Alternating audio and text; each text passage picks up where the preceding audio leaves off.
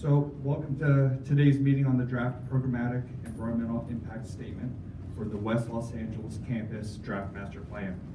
I'd like to introduce the panel for this meeting. And today's speakers are Meghan Flanz, Executive Director for the West Los Angeles Draft Master Plan, Glenn Elliott and Hector Abreu from VA's Office of Construction and Facilities Management, and Ian Musa, who will be the meeting moderator. Uh, At this time, I'd like to turn the podium over to Ian.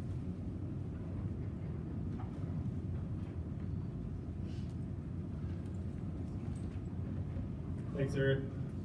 Good evening, good evening, everybody. Uh, my name is Ian Musa. I'm a vice president with Concourse Federal Group. In compliance with the National Environmental Policy Act, known as NEPA, the U.S. Department of Veterans Affairs, or VA, is holding public meetings to gather feedback on the draft programmatic environmental impact statement that was released in December 2018. We are hosting three public meetings over the course of three days with the intent of reaching the broadest audience. The anticipated audience for this draft programmatic environmental impact statement, or PEIS, includes veterans, veteran organizations, historic and cultural resource groups, local and state government agencies, and the surrounding community. These public meetings are designed to inform the public about the content of the draft PEIS, describe the proposed action and alternatives, present the project timeline, solicit comments and questions on the proposed action and the analysis performed, and identify any issues that have not been addressed. VA intends for these public meetings to be informative with a formal presentation followed by an open forum comment period.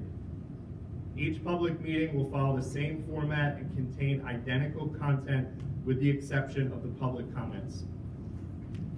For those of you interested in providing feedback during the comment period, we have comment forms at the welcome table.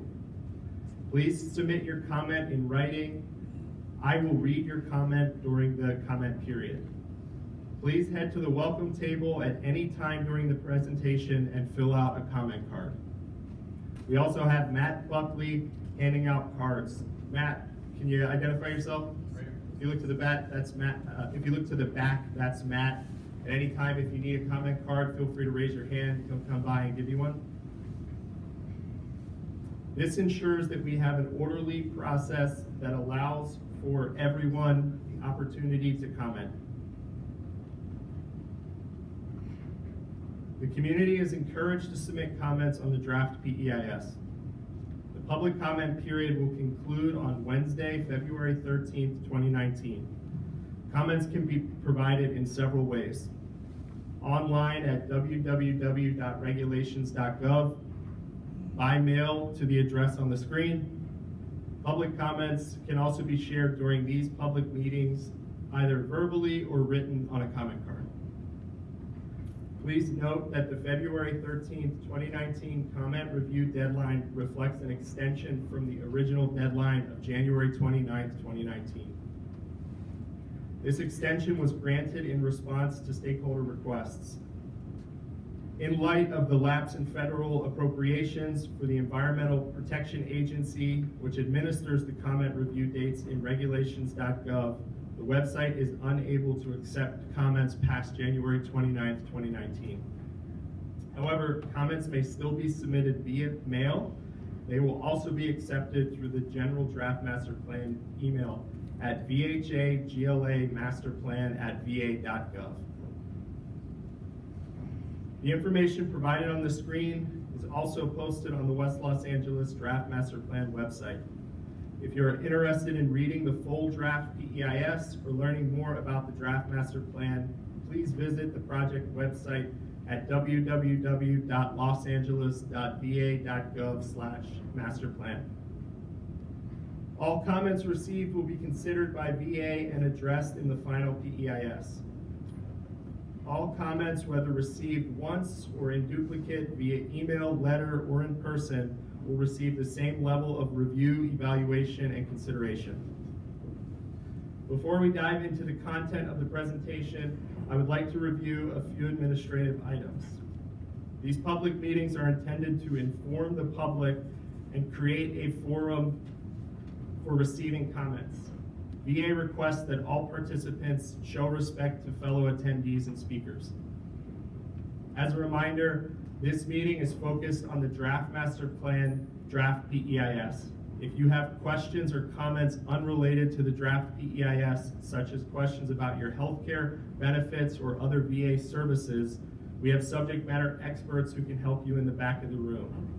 At any time during the presentation, please make your way to those tables for any questions or comments not relating to the draft PEIS. At this time, I would like to introduce our next speaker, Ms. Meghan Flanz.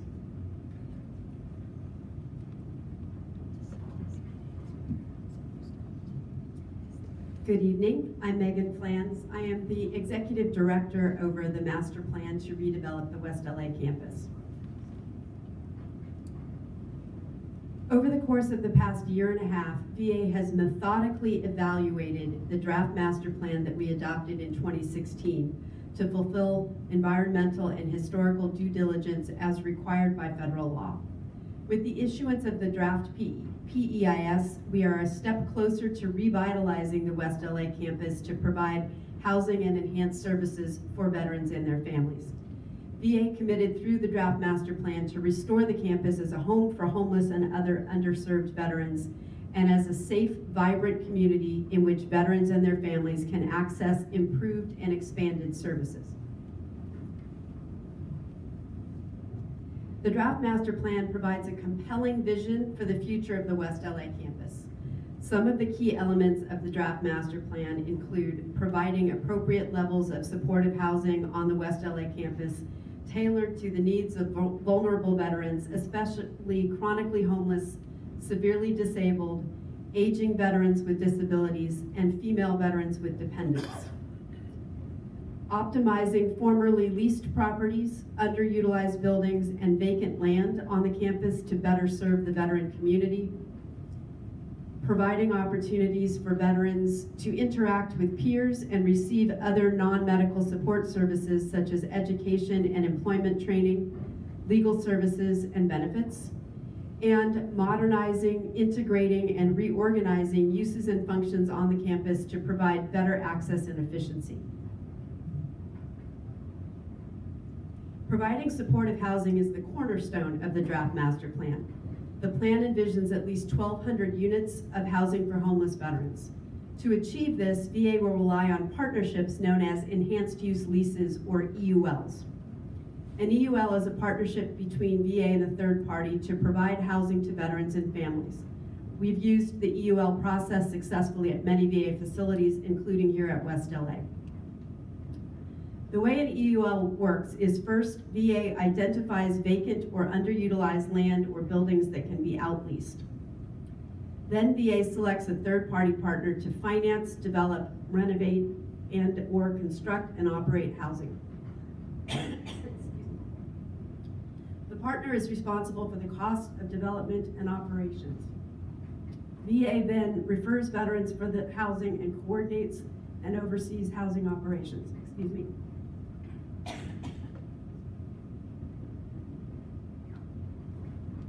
Sorry, saw this one coming. Um, Despite some criticism that VA is not moving fast enough to provide housing for veterans, we have made significant progress. We already have several EUL projects either completed or under development on the campus. Building 209 has been operational since 2017 with 54 supportive housing units for chronically homeless veterans.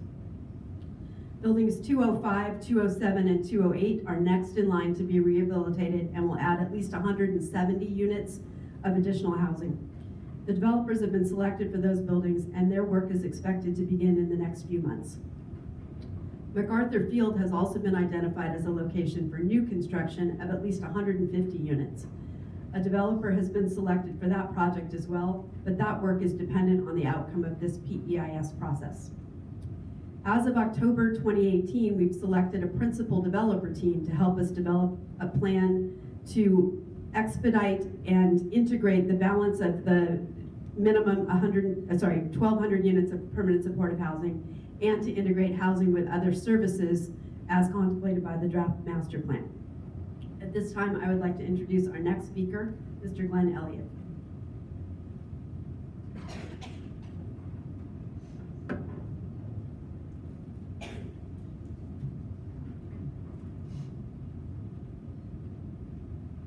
Good evening. My name is Glenn Elliott. I work for the Construction Facility Management Office. I'm the NEPA Implementation Officer for VA. How about that? All right. Today I'll provide a summary of the draft PEIS and the timeline for PEIS-related actions. The National Environmental Policy Act of 1969 requires federal agencies to document the environmental effects of the proposed actions prior to making decisions. Two major purposes of this environmental review process are better informed decisions and citizen involvement.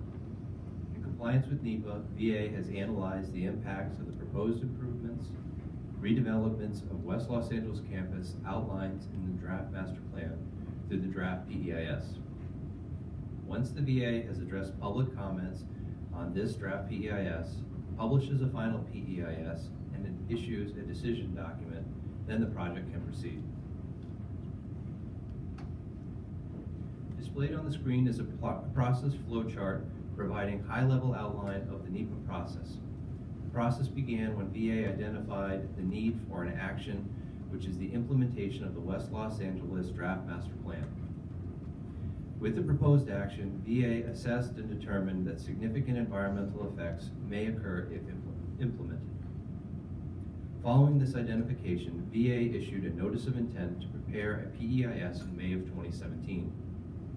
VA held three scoping meetings to obtain public input on proposed action and alternatives and to define the scope of issues to be addressed in depth in the PEIS.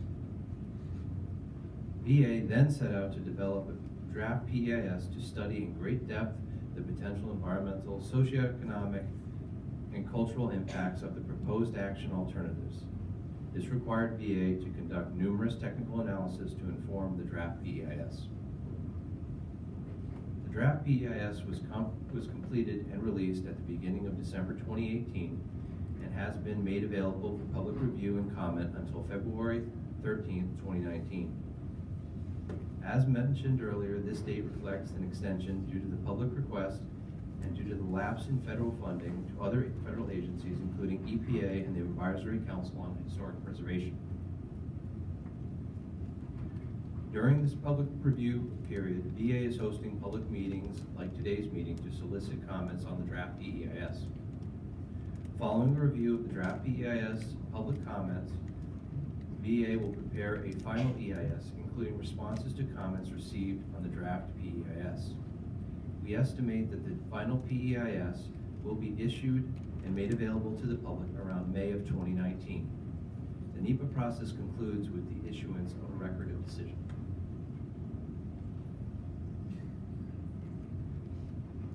Hang on one second. Thanks.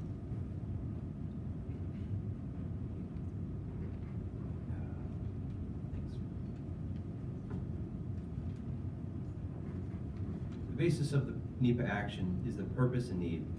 The purpose of the VA proposed action is to revitalize the West Los Angeles campus and to provide a safe and vibrant veteran-centric community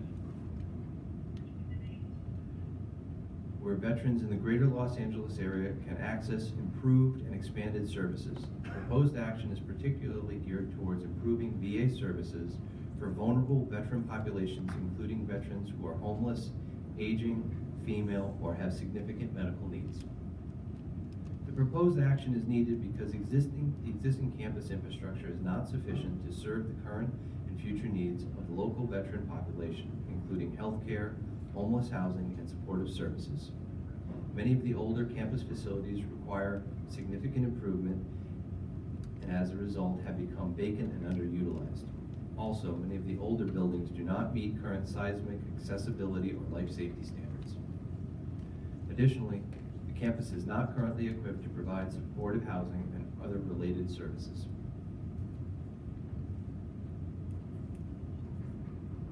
PEIS alternatives.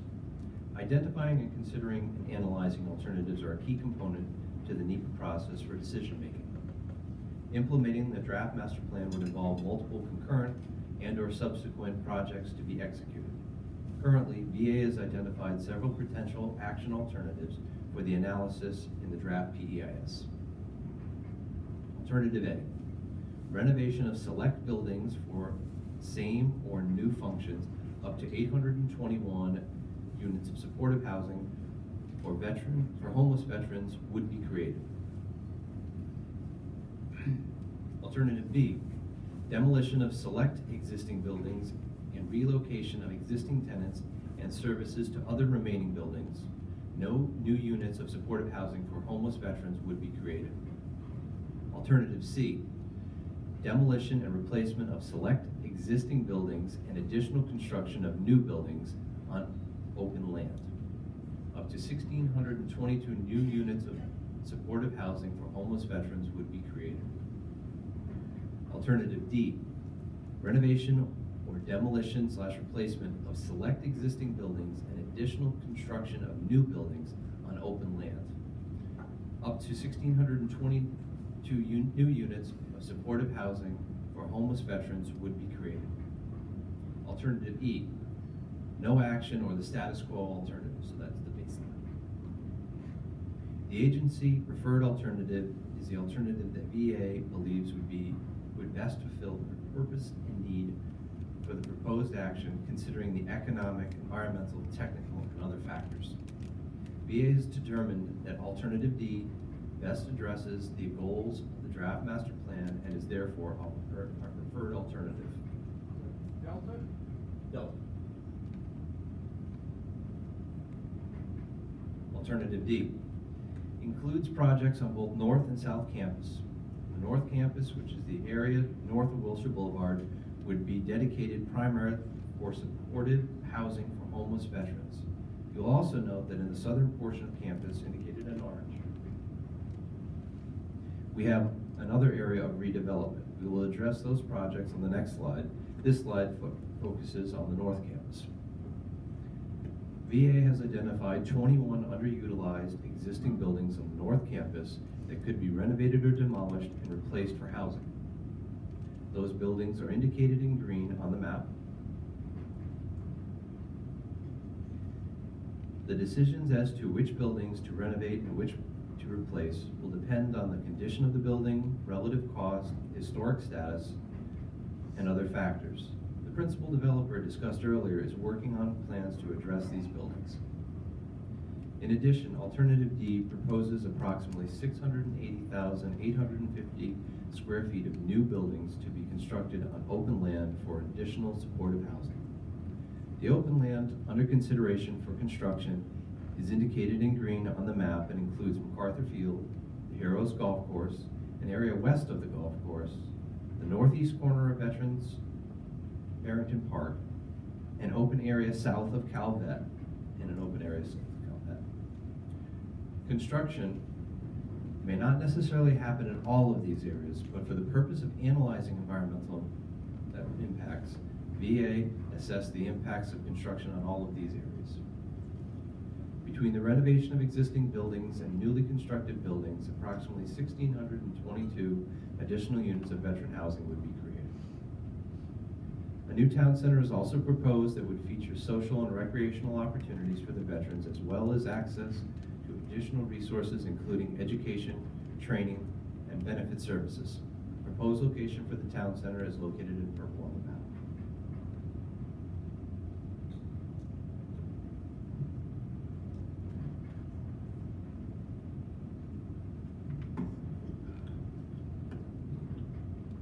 South Campus is also addressed under the preferred alternative.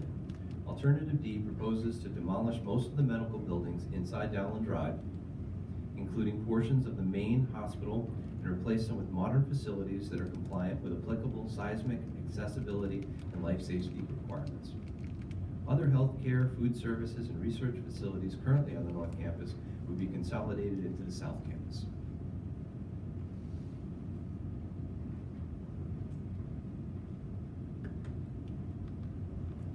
PEIS review areas.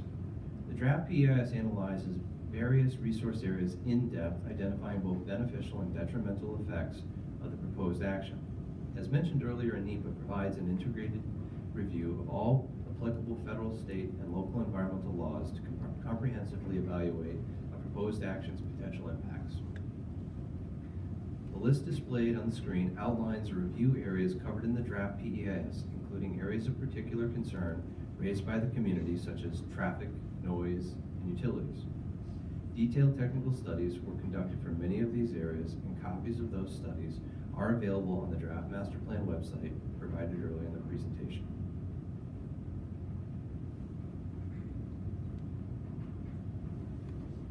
In the following slides, we have summarized the impacts of the alternative D identified in the PEIS associated with the review areas previously described.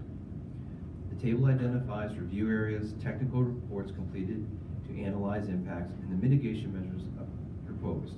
A detailed description of the impacts of each review area is included in the draft PEIS.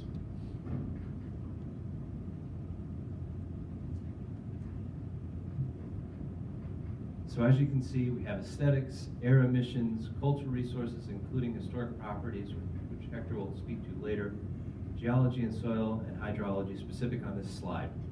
These are the reports or the models that went into the analysis of the impacts associated with those.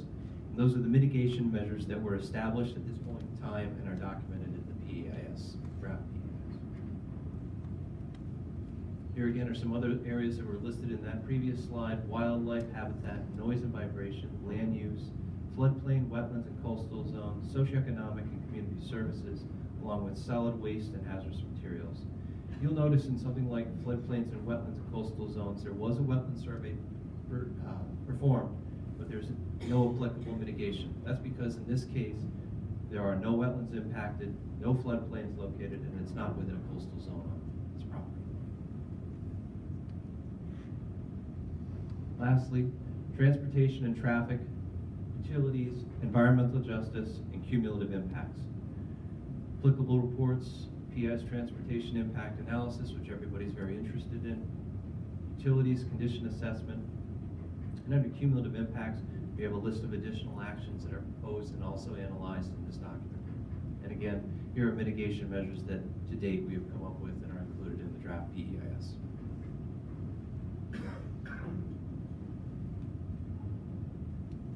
Other cumulative actions.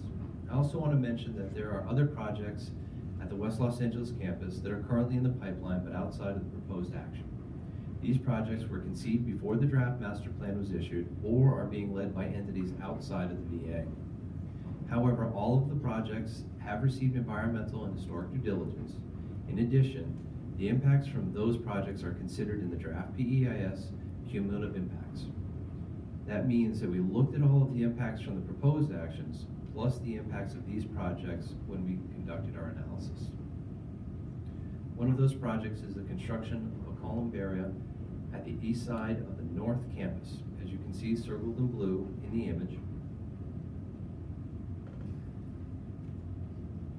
VA's Los Angeles National Cemetery has been closed to new burials since 1970 and to niche interments since the mid-1990s.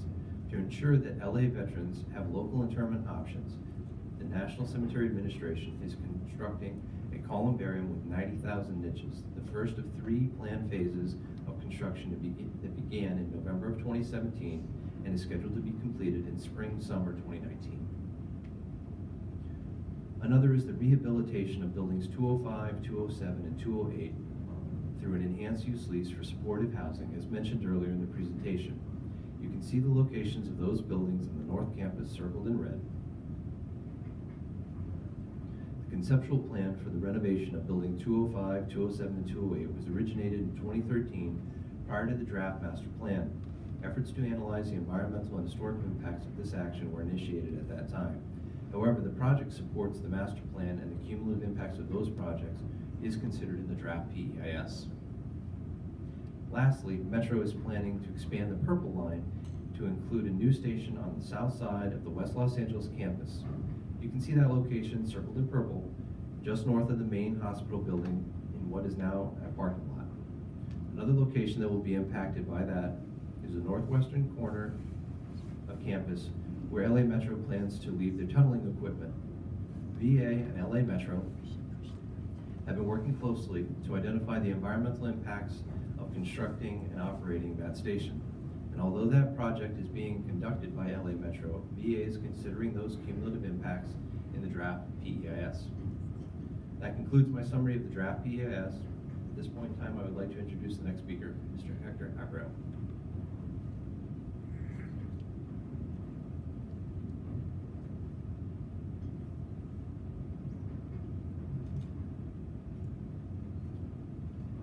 Good evening.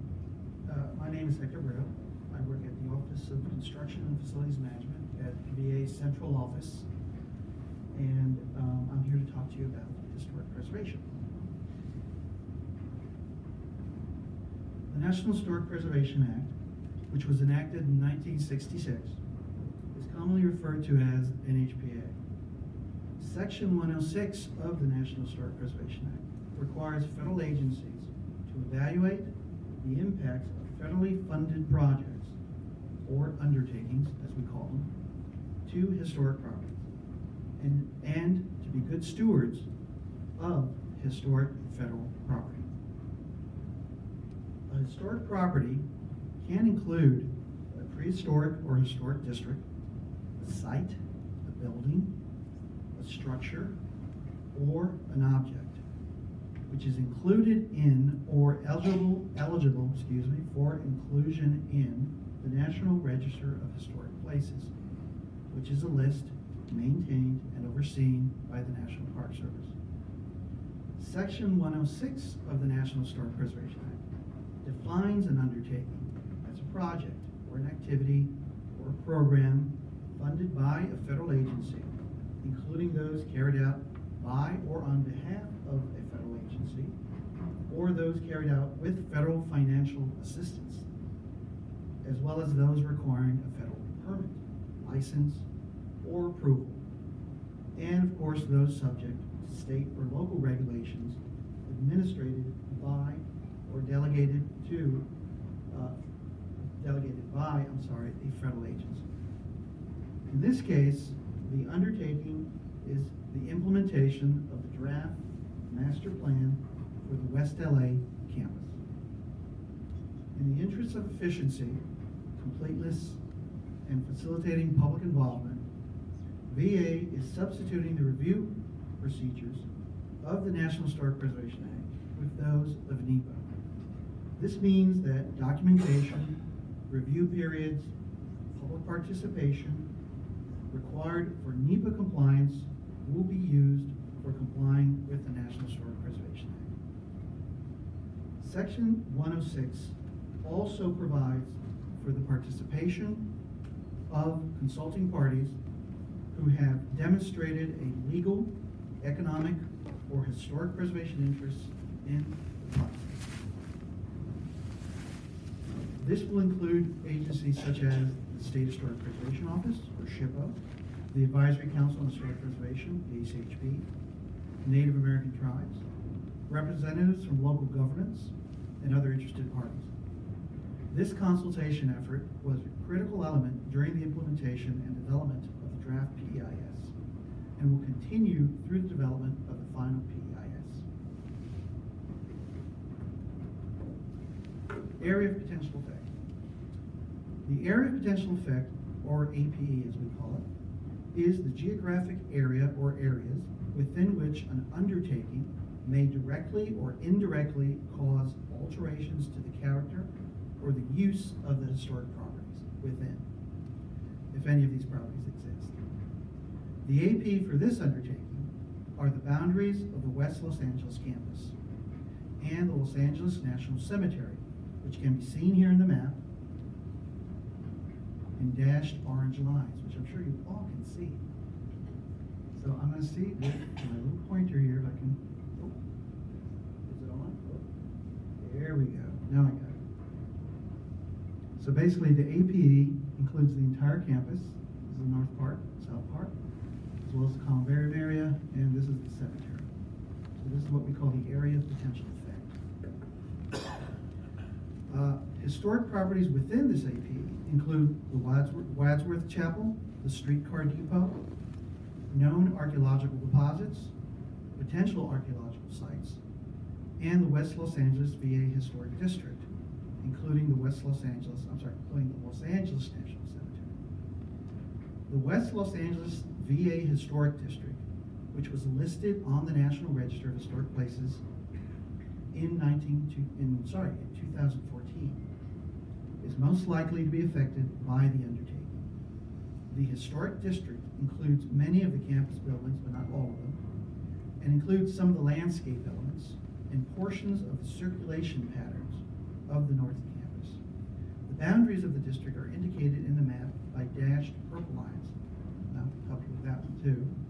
So it's mostly the northern campus, a portion of the southern campus there. So it doesn't include the entire southern campus, just that little portion there. And, of course, the cemetery and the part Parkland Concord. The uh, Wadsworth, the Wadsworth Chapel, Wadsworth Chapel, also known as the Catholic Protestant Chapel, was individually listed on the National Register in 1972. So it was listed before the district was, and is also a contributing resource to the West LA Historic District. The chapel is on the north campus and can be seen on the map circled in blue. Building number 66 has been called by several names, including the streetcar depot, newsstand, or the trolley stop. This building was listed, individually listed on the National Register also in 1972, and is also a contributing resource to the National Register District. The depot is also on the map and is circled in, it is up here, Chapel Streetcar Depot. This table identifies the five alternatives analyzed in the PEIS and their potential effects to historic and cultural resources. As discussed earlier by Glenn, alternative D is the VA preferred alternative. This alternative has the potential to affect historic buildings that are contributing resources to the West LA Historic District, especially if the decision is made to demolish one or more of these buildings or if the buildings are renovated in a manner that is inconsistent with the Secretary of Interior standards for rehabilitation. In addition, construction of new buildings within the boundaries of the historic district has the potential to be an adverse effect, an adverse effect, depending on the design, the height, and the massing of that building. Finally, any ground disturbance created by renovation or construction activities has the potential to uncover potentially eligible archaeological resources or sites. It is important to note that Section 106 requires federal agencies to seek ways to avoid, minimize, or mitigate the effects of their actions on historic properties. But it does not require the federal agency, in this case VA, to, in this case VA, to choose the alternative least likely to the historic resource, or to choose an alternative that has no adverse effect. PA. The way that federal agencies often resolve adverse effects is by signing a programmatic agreement, or PA, with the consulting parties.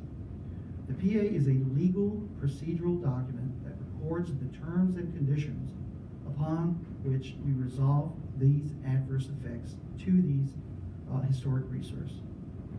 The VA has a, a VA has drafted a PA for this undertaking, and that draft PA is included in Appendix B of the draft PEIS. Since specific individual projects are unknown at this time, the PA presents several procedural steps for future consultation on each project. So it basically guides us on how to react to different adverse effects or potential adverse effects and how we go about resolving those adverse effects. Uh, It includes issues such as presentations of uh, how we present the final project details, how we find the effects that the projects will have on historic resources, and devise and negotiate and uh, present potential mitigation measures that would be necessary for these potential projects. ASM, archaeology.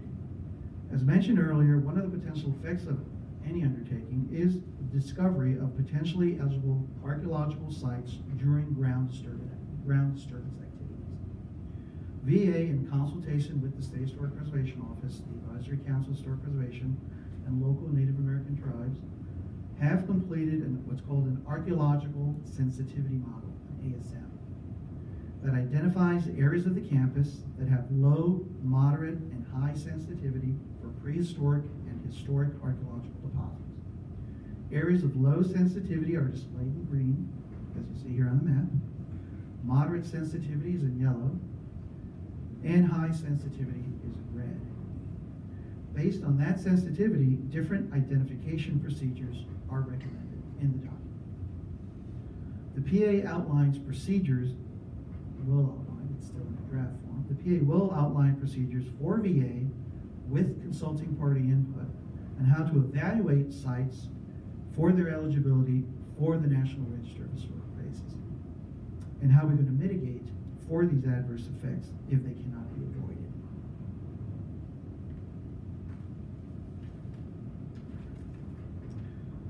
This concludes the summary of the uh, NHPA compliance procedures. And at this time, I'd like to turn the podium back to Mr. Musa. Thank you.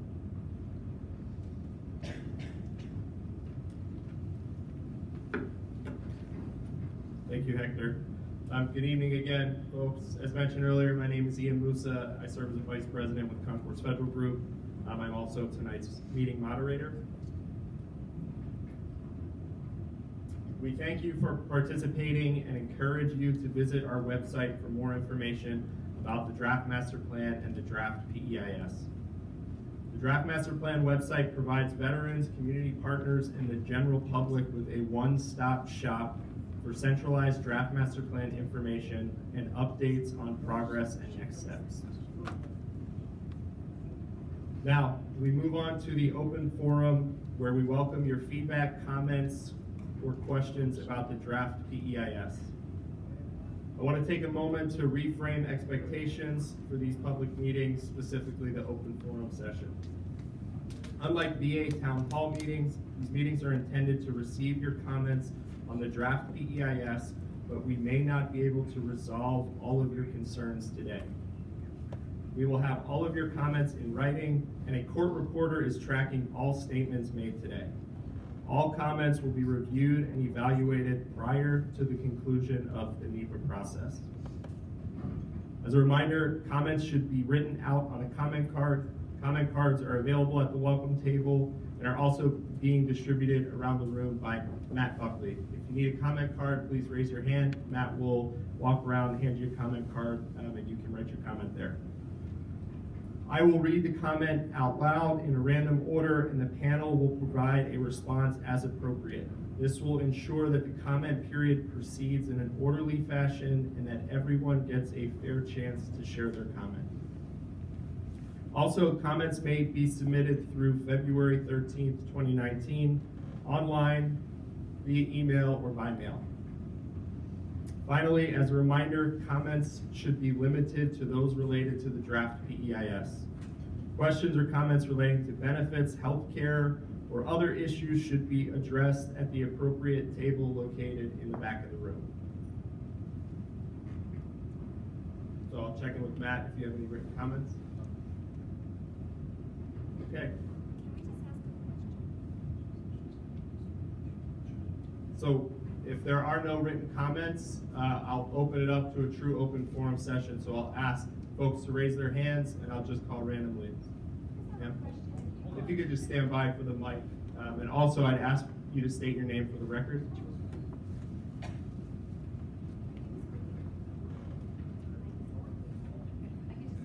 Um, I can just talk really loud. Sorry.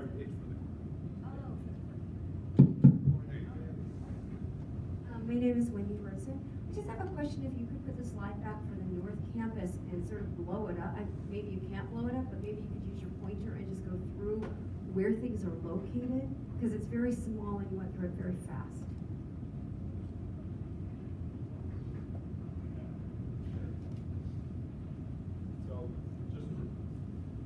For reference, and, and I'll defer uh, to the panel as well, but when we refer to the North Campus, this is Wilshire Boulevard. The North Campus refers to everything, uh, on the north side of Wilshire Boulevard, and then this is the South Campus.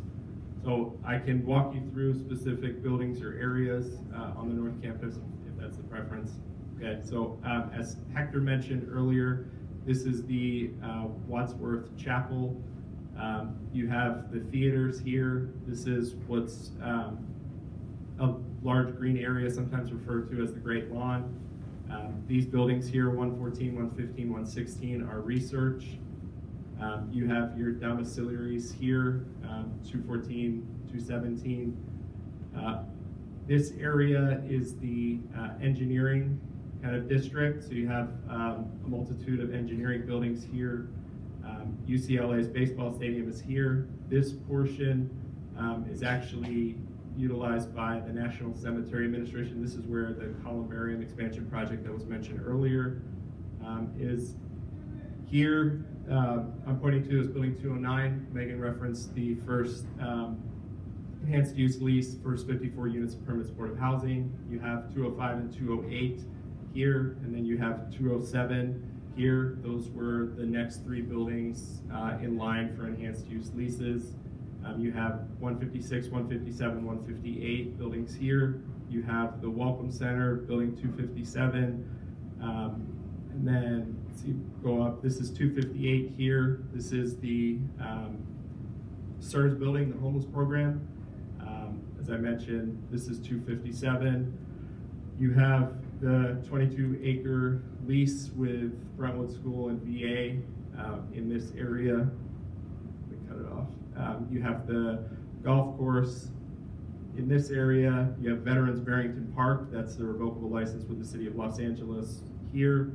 Uh, let me just pause. I feel like I threw a bunch of information. If Meghan, you want to jump in?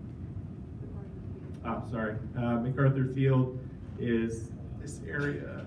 Um, sorry, right here is MacArthur Field. Any other specific areas that weren't identified or that you had a question about where they're located?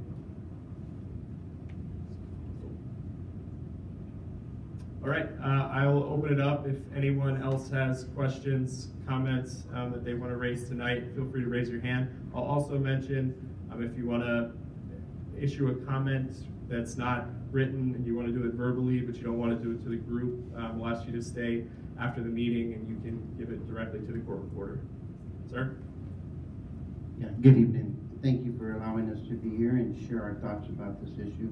Um, you know, we've been talking for the last two, three years about all this beautiful stuff that we are doing to better improve, you know, the land on the other side over there. My uh, interest is the cost factor for all the environmental impact that has been done in the last three years. No one has discussed any amounts of more or less money that we've been, uh, what you guys are doing. And, and I'm just curious, do you have for the last three years a rough idea what the cost is for the impact environmental consultants that have been doing the work here? And again, a more or less cost of uh, this project that is being done for the 1,200 units from the private medical con- uh, contractors on up to all the people that are doing it. Do we have a rough idea what, what we're looking at in reference to having this completed? I'm just curious. Thank you. And sir, before uh, a response, if, if you could just uh, provide your name for the record. Uh, My name is Alfred Arian, and I just have one more other thing. I was hoping that we would get some literature that we can also follow up what you guys just read. And I just counted maybe about 40 people here. Maybe half of them would probably take the literature on whatever uh, issues you were discussing. I mean, next time I'd love to have some literature. It just really helps me out. I'm not a computer whiz, so I just love to have this with me for my records. Thank you.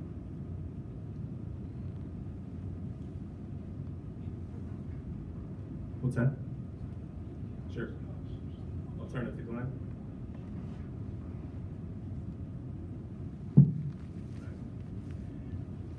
Sir, with the, with the environmental assessment, when it comes to cost associated with the development and construction, there's north and south campus. Um, Part of the principal developer is helping us design and kind of lay out what makes most cost sense. So I can't really give you an accurate number at this point in time. Um, That is something we can follow up with as that is developed out. Um, For the environmental, the environmental is ongoing and continuing study, so again, that that's something towards the end, we will be able to give you a cost estimate as to what it actually costs to develop this document and all the environmental studies that are associated with it. Uh, currently, the VA is paying for, uh, the environmental studies associated with this as it is an environmental action. And various sources of income are paying for the development of the campus. Enhanced use lease is a separate, uh, topic, or separate funding. Um, major construction associated with South Campus, that's VA funded. Welcome, sir. Thanks, Glenn. Sir? Curtis Mack, Veterans Park Conservancy. Ian uh, or Meghan or whomever, could you give us an update on the issues that the, the IG has identified with regard to the leases and how they may um, affect the, the final master plan? Sure. Meghan Flanz again. Um, for those in the room who may not have the context behind the question, I'll frame the question. We did have a, um, our VA Office of the Inspector General uh, came and did a review of land use agreements on the campus as required by our West LA Leasing Act. They issued a report in September 2018 that found some improprieties with respect to certain third-party uses on the, on the campus. We have uh, a process that is set out by the, the rules of our IG that we have to provide quarterly updates to them. And we are, uh, set ourselves uh, a, a time horizon of a year, which ends in September 2019, to um, address the concerns that they raised. So we're in the, in that process. Um, interestingly, the way that our West LA Leasing Act was worded prior to September 2018, uh, it required the Secretary of the Department of Veterans Affairs to uh, certify to Congress that we had complied with all obligations, uh, or all, sorry, all recommendations in the IG audit report before the Secretary could enter into any lease, including an enhanced use lease to provide housing on the campus. That's a very unusual way for a- an IG audit report um, to have consequences. It- That's just not generally the way that things work in the federal government. There was an amendment to the West LA Leasing Act that was passed in September 2018 um, that in essence does not stop us in our tracks in terms of providing supportive housing to veterans through enhanced use leases simply because we have outstanding recommendations from the IG. So to get to your fundamental question, what's the impact of that on the work that we're doing? We need to comply with the IG's recommendations. We're working hard to do that, but that process does not stop us from uh, providing housing through enhanced use leases. Thank you, Meghan. I'll open it up. If folks have a question or comment, feel free to raise your hand. I will do one final check. Ma'am? Hi, Libby Denkmann with KPCC. I'm a reporter, public radio reporter. I'm just curious what types of actions you're taking to comply right now with the OIG recommendations, and if you could talk a little bit more specifically about what's going on, especially with the Brentwood School. Uh, so I, I can talk at a high level. I, I, it's not appropriate at this particular point in our decision-making to talk really specifically about approaches with respect to each land use. Um, but the, the variety of things available to us include terminating uh, a land use that the IG found to be improper, renegotiating that land use to try to bring it within compliance with applicable law. In uh, at least one case, maybe two, the IG's concern was that a land use um, wasn't improper but was uh, documented improperly. So, for example, we have a pre-existing arrangement with the California Department of Transportation, Transportation, Caltrans, which was recorded as a revocable license, but probably should have been handled as an easement. So uh, in a case like that, the um, approach probably is simply to redocument it using the appropriate type of land use form. And so those are the variety of things that we are looking at. Um, we're still in the process of figuring out what our strategy is with respect to each agreement.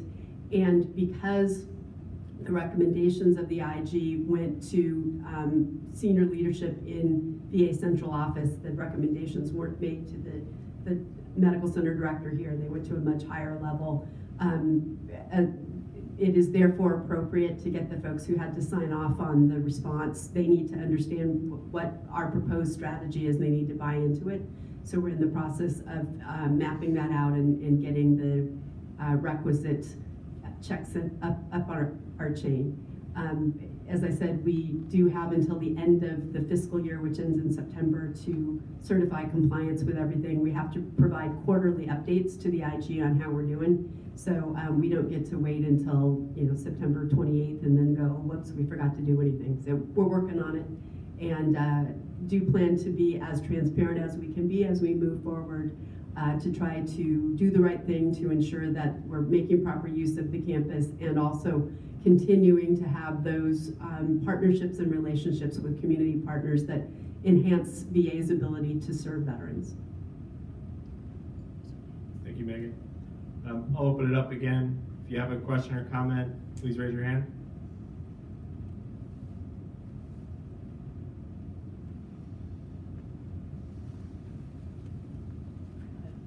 Um, the proposed buildings for MacArthur Field were, did I, did I understand that that was six hundred thousand square feet, or did I have that mixed up with something else? The, the MacArthur Field is to be built on, which is around apartments on the street area, yeah, up in the, in the, next to the school, yes. How high are those buildings proposed to be, or is- have you gotten to any kind of an architectural plan? So if the question goes to height, no, we have not gotten there yet. Um, as far as I know, that, that level of design has not yet been identified. So what we're looking at, uh, at this point is a- at a much higher level, how many units can that parcel accommodate? And then we will move from there into a plan to sort of set the design parameters for everything that's happening on the building. So we're not, on the, on the property rather, so we're not there. We're not at a point of saying how many square feet or how high. That's the bulk of the population though, from what you're building all over. Uh, 150 units there out of a total of 1,200, so no, that's not, the MacArthur Field is not the bulk of it. Thank you. Ma'am, if- if you could just say your name for the record. Oh, Nancy Friedman, Rutland Community Council. Thank you. We're bringing the mic to you. Wendy, Wendy Rosen again. So, so can you, um, show us the overlay of, uh, alternative D on both the north while you have it up and then the south and also show us where the, uh, subway is going? Just, just so we understand the overlay on this property of what your proposal is, because like Nancy said, I didn't understand the square footages and the numbers either, and if you could explain that better, I think that would be helpful. Okay, there's a lot packed into that one, so let me try to kind of step you through.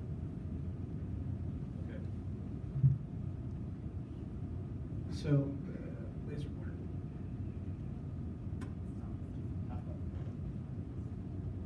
Okay, so let's start with the Metro. The Metro is, uh, we are right here, right now, downstairs. Uh, The Metro would come right across here with the station. MacArthur Field with the 680,000 square feet is located right up here.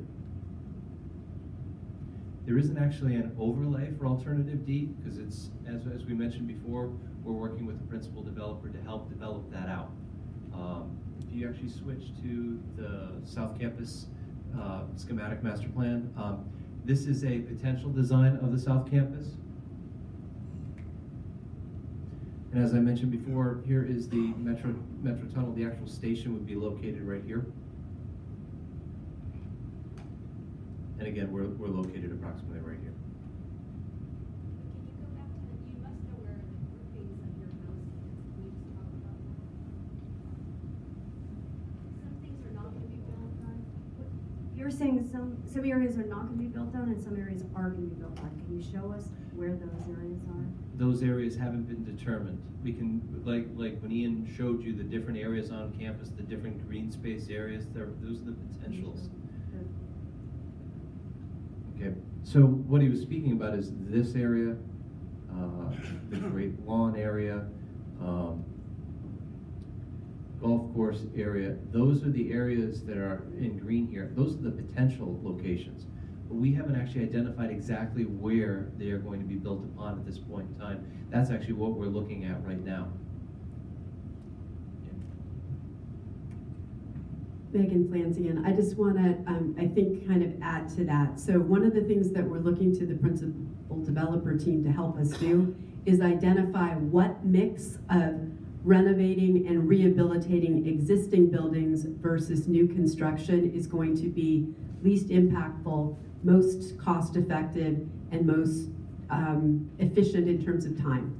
And we have not, we're not there yet in terms of deciding, you know, one alternative that is built into uh, that alternative D is everything other than MacArthur Field could be rehab of existing buildings. We just, we haven't gotten to the granularity of, we think we need new construction here because we're only gonna build X number of units by rehabilitating existing buildings. We will get there. We hope to get there very quickly because we need to get to that level of granularity before we can really ramp up the delivery of the housing. So we're hoping to get there real quick, but we're just not there yet. Thank you. I'll open it up once more. If you have a question or comment, please raise your hand.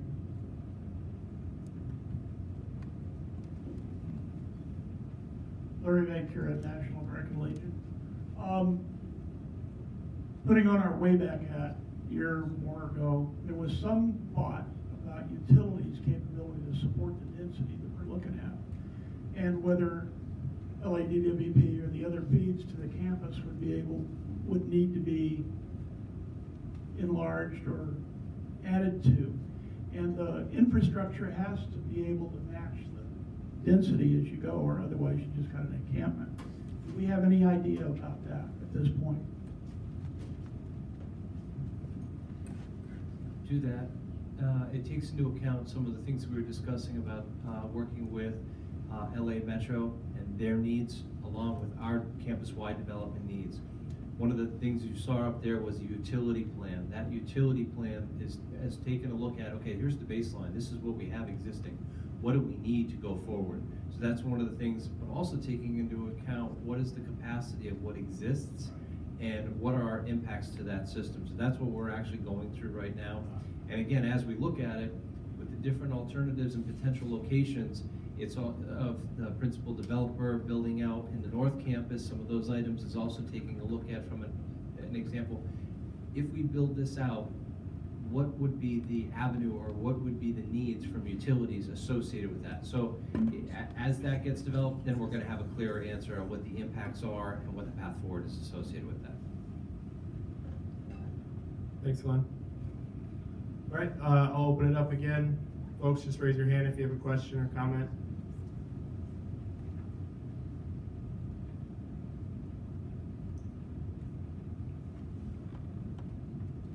Wendy Rosen again. I have a question for you about just looking uh, out into the future. I mean, we hope at some point that the homeless problem gets addressed and that, you know, as time goes on, we won't need this housing for homeless. So what, what is the plan looking out in the future for this property in terms of what you're building? That's a really excellent point, and it's one that we talk about all the time and that we have been talking about with our principal developer team. We want to make sure uh, that what we build is sustainable over time and is um, flexible enough to meet evolving needs of veterans. Um, I, uh, I'm going to assume from your question that you're an optimist like me and that you believe we can, as a, as a city and a community and, and a nation, uh, at some point, uh, permanently and successfully address the underlying causes of homelessness, including veteran homelessness, such that the folks who uh, may need or want to live on this campus uh, aren't living there because they used to be living on the street. So um, we're building that thinking into our projections. Uh, and also, we're building in what we know about the um, sort of evolving nature of the veteran population in Los Angeles. Uh, the veteran population's getting older. Uh, it's also becoming more diverse. And so we're looking at uh, flexible ways to approach housing so that it's not a one size fits all, uh, or sorry, a single purpose model, but instead is something that's more flexible. Um, to that point, we're also thinking about the fullness of, of time for, for a single veteran or a single group of veterans. So um, we do anticipate that homeless veterans may come onto the campus for housing, may then um, develop new skills, become um, employed, get more income. They may choose to continue to live on the campus, but no longer need permanent supportive housing or that type of service. We want to make sure that they have the ability to stay on the campus as their uh, situation and needs change. So great question. It's one that we are um, definitely working into our thinking. In in reference to what you were just sharing as far as building a relationship, now that you, you know, in the near future, when you have the twelve hundred units filled up and we have all these veterans that are eager to do what they can to get their lives in order, what I've learned in the last town hall meeting, when our veterans came here and they were sharing about the lack of communication in building a relationship with the leadership as, as, uh, in reference to the director and his, her staff, on how can the veterans, uh, like, have little meetings, and I don't know if you're doing this already, uh, have a relationship with them so that you can find out what their, you know, what the issues are there, because I think it's very important. Uh, from January to August, we had eight suicides. I didn't see anything on the news media, and I think we can build communications here to make their living conditions a lot better and, and, and try to get the help that, you know, we need to get to them so that we can save a veteran's life. And as a veteran, I am concerned about that issue, and I hope uh, you either doing it or in the future that you will think about building that relationship with them because as a New Start for Veterans, we want to see our veterans build this relationship with the VA so that we can uh, work together and see good things happen for veterans. That's my concern. Again, thank you very much. It's a wonderful point. I'm going to try to address it quick before my voice goes completely. Um, it, it is a it's a it's a terrific point, and it's one that we've been um, talking about a lot, both internally here within GLA and with our principal developer team, um, who have all kinds of wonderful experience um, providing a thriving community for homeless uh, folks, veterans, and otherwise. And I think a huge part of that is understanding the things that make somebody feel connected to a community and making sure that we build all of those things into the community that we're building here so that it happens organically, but then also being real disciplined ourselves to ensure that we are providing opportunities, town halls, um, homeowners association type uh, opportunities for the folks living on the campus to um, have conversations with their clinicians, with administrators here at the hospital, with each other, uh, and with folks in the community. So it, it's, it's a great point, and it's one that we really are building into our thinking, and we are blessed to have a principal developer team that's got um, decades of experience doing exactly that and doing it well. Thank you. Thank you. Uh, open it up once more. Questions, comments, feel free to raise your hand. All right. Well, thank you very much uh, for joining. As a reminder, same meeting will occur tomorrow, uh, 8.30 to 11.30 in the morning, and then we'll have another meeting on Thursday, same time as tonight. Thank you.